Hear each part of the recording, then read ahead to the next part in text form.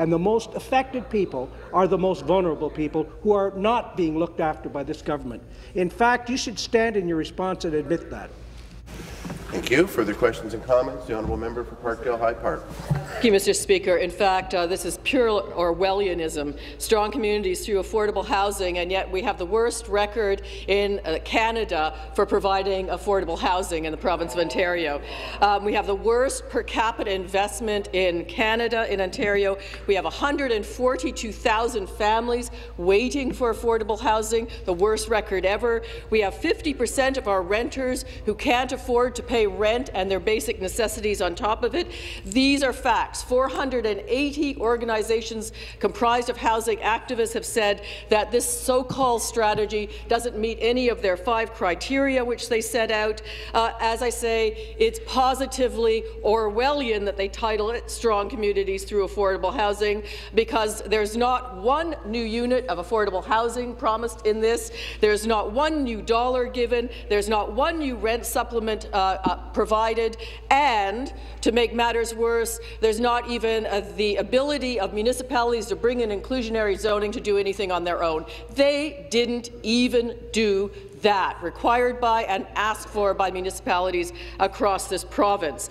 Uh, so we now have one in six children living in poverty. We have not seen poverty rates or homelessness rates or lack of affordable housing rates like this since the Depression, and I would argue it's getting even worse than the Depression. This is under Premier McGuinty. This is under Liberal rule in Ontario.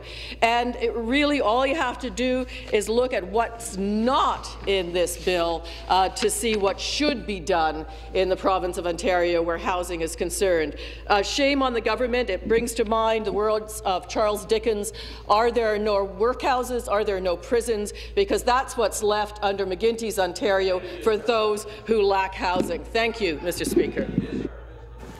Further uh, questions and comments? The honourable member for Peterborough. Thanks very much, uh, Mr. Speaker. And I, I do want to salute the member, member from London Fanshawe this morning, along with his mayor, Joe Fontana. He's been helping to take the leadership in London, Ontario that's had a huge dump of snow, and, and the member there is helping to organize things and allowing the City of London to recover as quickly as possible. Hear, hear. We salute that leadership. But then again, I also salute his leadership in the field of housing. Here are the facts, Mr. Speaker. Since 2003, we've made unprecedented investments of more than $2.5 billion in this sector. That includes the largest affordable housing investment in Canadian history, $734 million of partnership uh, with, both, uh, with both federal governments. This is helping us build more than 20,000, 22,000 new units, repair over 150,000 existing units, and provide more than 35,000 rent supplements to Ontario's families indeed.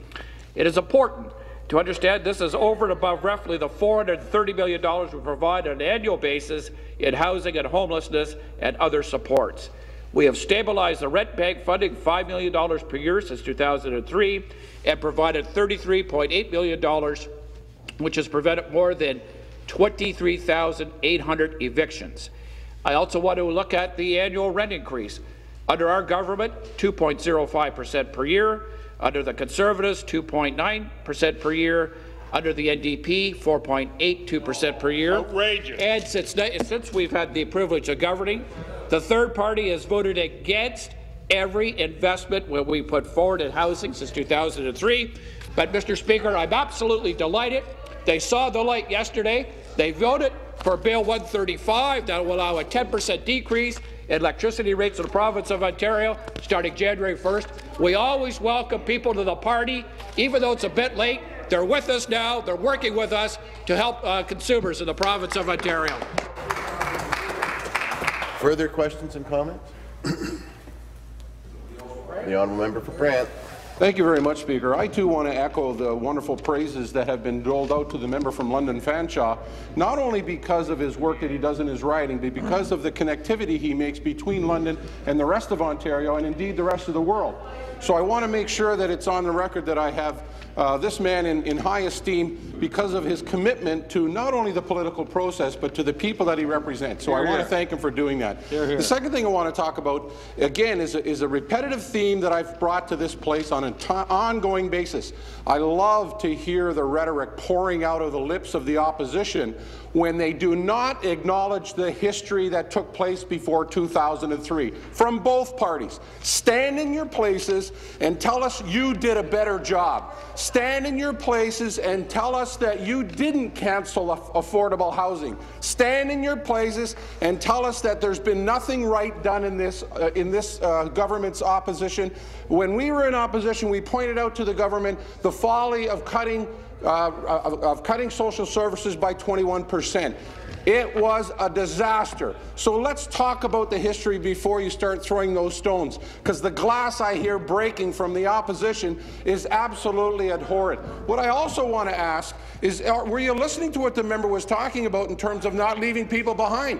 The example he gave you from, the, from around the world was very evident. When those types of right-wing agenda items took place, it took a while. I will tell you very clearly, it took a while, but people began to recognize that that right-wing agenda of cut, cut, cut, cut, and leave people behind doesn't work. Historically, it's evident that it does not work. And what did they continue to do? They continued to cut. And now what are they saying they're going to do? They're going to protect the interest of the little guy. So that we don't know what the history was in 2003, let's take a look at it and compare notes. The uh, member for London Fanshawe has two minutes for his response. Well, thank you, Mr. Speaker. I guess it's an important debate. And the member from Durham, I know you, you know, anytime for you and the member from Parkdale High Park, anytime we compare our record to your record, you had no plan. You had no plan, whether for hydro, whether for affordable home, whether for social program. We do. That's why we debate in this house. And a member from High Park, you know, the NDP were in power for many years. What happened? They broke the whole government. They, you know what? It's a clear. We have put cap and the rent increase 2.05. They also had it for almost 2.9, 3%. So no comparison, Mr. Speaker. We continue to invest. I want to also thank the member from Peterborough and the member from Brant to outline the importance of the affordable homes strategy. You cannot leave people behind. You cannot peop uh, leave people behind. You know, the philosophy of cutting, cutting, cutting does not help. Didn't work for the Conservative in 2003. It's not going to work to any government in the future when you cut the social program, you cut the affordable homes, you cut the social program. And Mr. Speaker, when you not invest in hydro, what's going to happen? They're going to have a blackout. So, Mr. Speaker, it's important for us to continue to include everyone with us, to continue to invest in affordable home, to continue to invest in the social program, to continue to invest in, in health care because it's important, Mr. Speaker, to create that social network, affordable one, to all the people to be able to live in peace and harmony and dignity and respect, Mr. Speaker, because our strategy, Mr. Speaker, in this side of the House, to reduce the poverty and, and affordable homes, one of the most element of reductions of the poverty in the province of Ontario. Because when the people find a place to live, they cannot live in the street. And you know what? They live in peace and harmony. They can put their family together.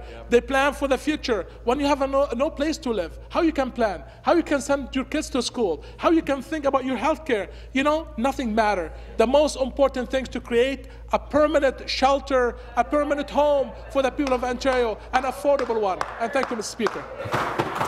Further debate? Honourable Member for Kitchener-Waterloo. Well, thank you very much, uh, Mr. Speaker. I'm certainly pleased to rise today and contribute to the debate on Bill 140, the Housing Services Act 2010. I think, as everybody in this House uh, recognizes, affordable housing is a most critical component of any compassionate society's social safety net.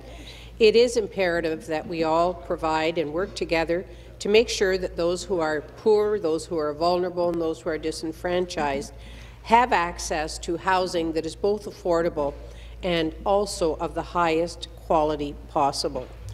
And uh, because, uh, unfortunately, what we're seeing today in the province of Ontario is that the needs of Ontario's disadvantaged, the housing needs, are being ignored.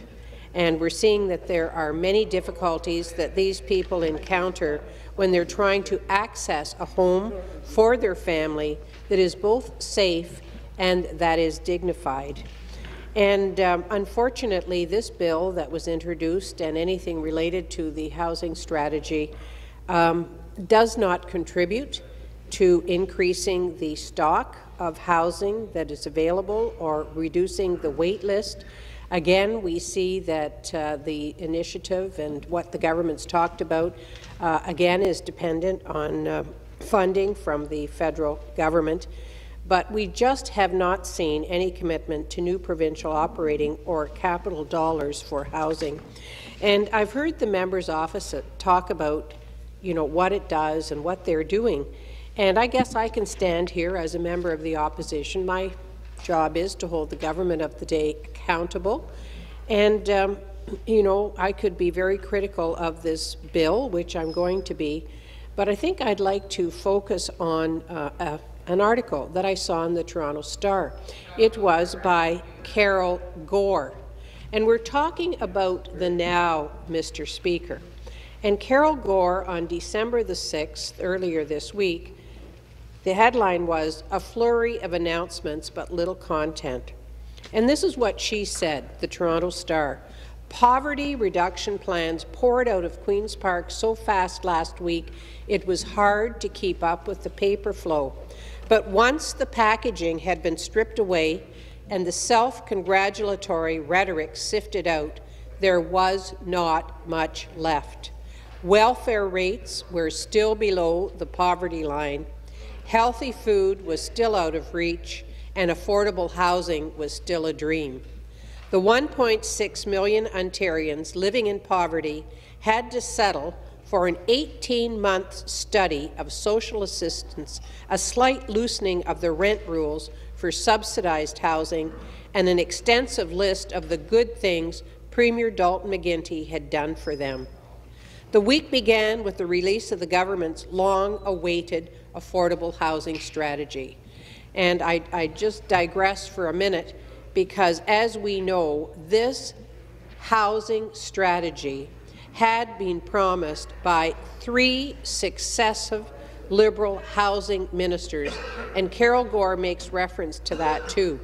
She indicates that three successive Liberal housing ministers promised a long-term plan and they produced nothing. nothing. This has been ongoing since 2003. So I don't know how this government can stand and say they're a compassionate caring group of people because they've had seven years to deliver for the people who need housing in the province of Ontario.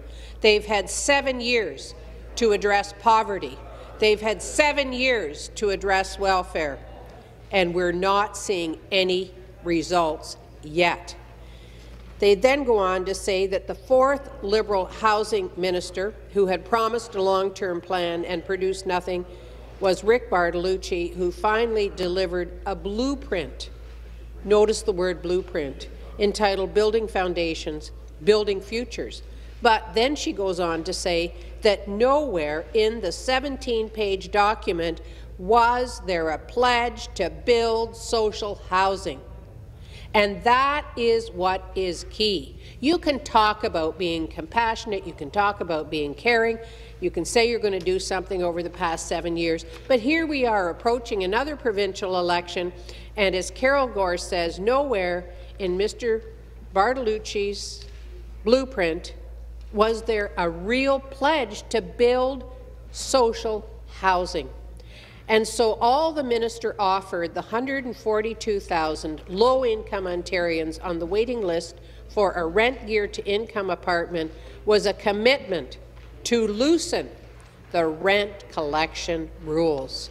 What a slap in the face to the people who wanted housing. She goes on to say, a second disappointment was that Bartolucci did not respond to entreaties for a housing benefit that would narrow the gap between the rent private landlords charge and the amount low-income Ontarians can afford. The minister merely said he would consider the idea. Um, then Mr. Bartolucci is quoted as saying, despite significant global economic challenges, we have not removed a single penny of the funds earmarked for housing. Yes, but there also were no new funds. There was no new social housing for the 142,000 people that are on the waiting list. And um, so, you know, then we get an announcement uh, uh, following this from the Community and Social Services Minister, Madeleine Meilleur. Again, she comes out, and um, we've seen a two-year delay, and we've seen excuses, and she says they're going to launch the social assistance review promised in the government's poverty reduction strategy. It's going to happen over 18, year, 18 months.